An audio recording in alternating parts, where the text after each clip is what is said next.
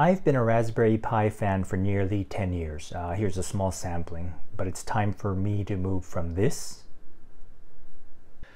to this. Stay tuned. I've been eyeing the 8 gig version of the Raspberry Pi 5 since its release in October 2023. Uh, I was really looking forward to getting rid of those um, quirky, unreliable micro SD cards and uh, using the Pi's PCIe connection and a proper NVMe SSD drive. Uh, that said, by the time I added the NVMe hat, the 500 gig SSD drive, new case, and active fan, etc., uh, I had a bit of sticker shock. Uh, th this got me looking into alternatives and I stumbled across this Beelink S12 Pro Mini PC. Uh, this Mini PC was priced similarly to the uh, Pi 5 I'd spec'd out, and it comes with double the memory at uh, 16 gigs, includes the 500 gig NVMe M.2 drive, has a 12th Gen x86 processor versus the Pi's ARM, and a Windows 11 OS license. I paid uh, 159 for this particular unit. Uh, I'll put a link to this mini PC in the description below. All right, let's open her up. And first we have the manual. And underneath the manual, we have the mini PC itself. It's uh, super lightweight. Next, let's check out what's in the accessory box. In the accessory box, uh, looks like we got uh, two HDMI cables, uh, two different lengths. Got the uh, power adapter, screws, and a uh, VESA mount in case we want to attach the uh, mini PC to the back of a monitor. The unit's case is plastic and the top is nice, clean, and simple. Uh, let's see, the measurements are four and a half by four by one and a half. And uh, here it is next to a Raspberry Pi 4.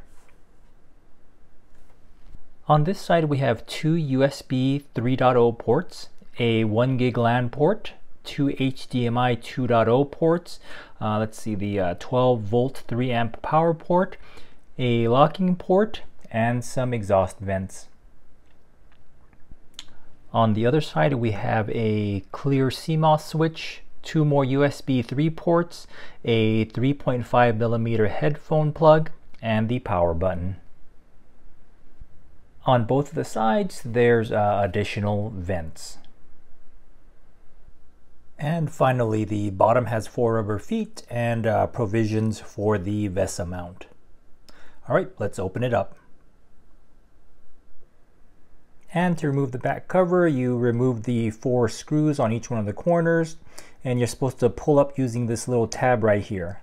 Uh, mine was kind of a uh, tight fit, so what I did was I inserted the uh, VESA mount screws, and I used these to pull up on the panel.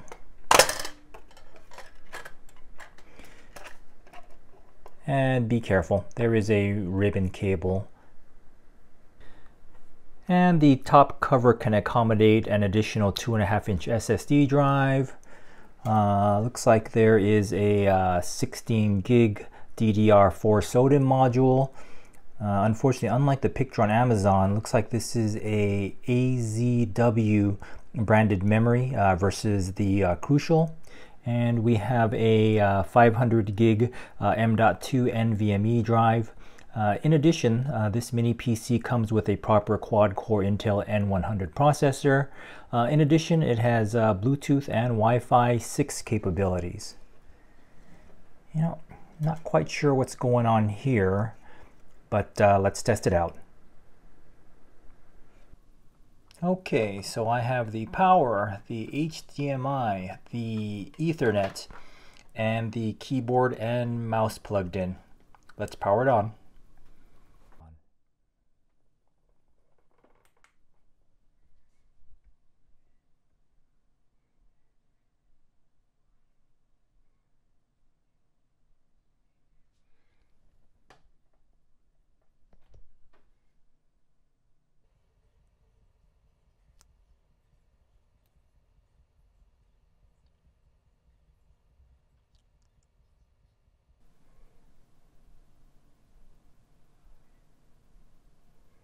All right, and this version looks to come with a copy of Windows 11. Uh, let me go through the setup process and get back with you. After the setup, I did uh, plug in a set of speakers. This mini PC comes with a copy of Windows 11 Professional. Uh, you can see the active state right here. And when we go to the uh, specifications, uh, the uh, PC has an N100 processor uh, running at 800 megahertz, but uh, don't let that fool you. Uh, that's a uh, power saving feature. It can boost up to 3.4 uh, gigahertz when needed. Uh, the beauty of this particular CPU is the TDP is only 6 watts. And moving on down, we do have 16 gigs of memory. And just an observation, this PC is really silent. Barely knows it. Okay, let's continue on with some testing. Prior to starting, I did run Malwarebytes to confirm that there were no items detected. Uh, I also ran all the uh, Windows updates. Okay, I am going to start with a uh, CPU benchmark using Geekbench 6. And um, this is going to take a while, so what I'll do is I'll uh, cut to the good parts. Okay, that's going to be pretty easy to remember. The uh, single core score is 1, 2, 3, 4, and the multi-core score is 3, 1, 5, 4. Let's see what this compares to. All right, it looks like the uh, single core score is comparable to an AMD Ryzen 5 2600X. Uh, let's see if we could get some additional details on this processor out of curiosity. The general information over here.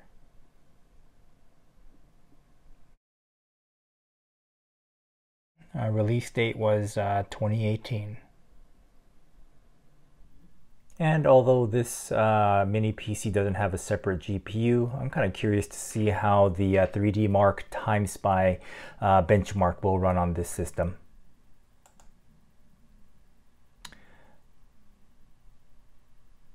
This is probably going to take a while to load and run, so I'll show the highlights. Uh, no surprises here. The uh, audio is perfectly fine, but the uh, video is painfully slow.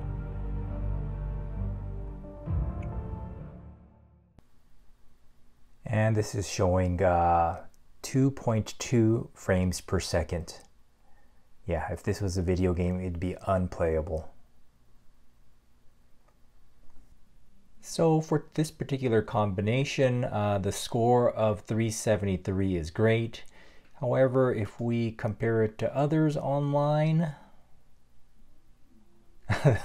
this score is better than 0% of all results. Uh, once again, not surprising. This is Cinebench 2024, and I'm going to run the uh, CPU multi-core benchmark. And this is definitely going to take a considerable amount of time, so I'll check in periodically. I am clearly asking this little guy to do things it wasn't designed for, but uh, I'm just curious. And after a considerable amount of time, the uh, Mini PC produced a score of 195. And here's a comparison with other uh, CPUs. So uh, let's see, we got the 12th uh, gen Intel Core i7 uh, at 433 points. And this Mini PC with the uh, N100, the score was 196.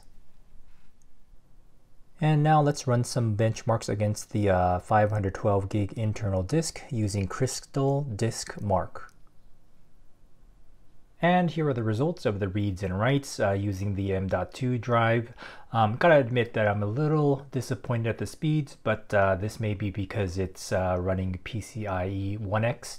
Uh, that said, it's considerably faster than the Raspberry Pi's uh, micro SD read writes. Uh, here's some power consumption information in regards to the uh, mini PC. So at idle, we're looking at uh, 0.12, 0.3 amps, and looks like about high 8 9 watts and 15 16 volt amps. And here's the utilization for the Raspberry Pi 4. Oh, as expected, it's lower. It's uh, 0.06 amps, about 4 watts, and 7 volt amps. And here are the numbers from the system that I'm hoping to consolidate. Uh, 0.28 amps, 32 watts, and 34.2 volt amps. And some final thoughts. Uh, do you tinker, build hardware projects, need a GPIO, uh, really short on power and space? You know, then the Raspberry Pi still has its place. Uh, there's tons of Raspberry Pi specific accessories and a large community. Um, examples are running Octoprint for your 3D printer, Home Assistant, and as I mentioned before, uh, Pi-hole. That said, after working with this mini PC for a few weeks, it's perfectly fine as a desktop PC. Um, internet, YouTube, the standard stuff is not a problem. Uh, this is clearly not a gaming PC or for heavy video rendering or editing. But uh, this has met and exceeded my expectations when comparing it to a Raspberry Pi. Um, it's much more powerful, flexible, and more compatible with a lot of software and uh, hardware than the Pi. I'll have a part two for this mini PC where I'll set it up as my lab server with uh, Proxmox and install Pi-hole as well as other VMs and containers. Uh, this is to decommission my old lab server, so stay tuned for that. Uh, I'll have links for this mini PC as well as the Kill A Watt in the description below. If you like this video, please click like and consider becoming a subscriber. Thank you.